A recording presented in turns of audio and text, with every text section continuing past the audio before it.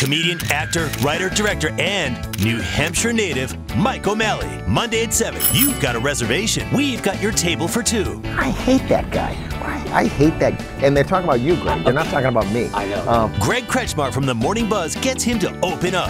You got nominated for an Emmy. Congratulations. Thank you. You should have won. You Thank got robbed. But I bring it up because it's, but, but And talk important. about making it in Hollywood. I was enjoying myself until you asked me this question, and now I'm panicked. Table for two. Monday at 7 on WMUR.